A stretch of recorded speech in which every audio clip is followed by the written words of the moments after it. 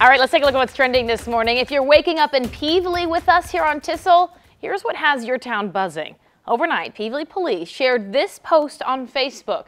You can see here a picture of a young bear. Can you see it there? Can you make it out? Oh, man. Well, they've confirmed a sighting of one of possibly two bears in the Weir mobile home community. So they're asking everyone to bring all their pets inside and to be sure to pick up any food that may be left out around the homes.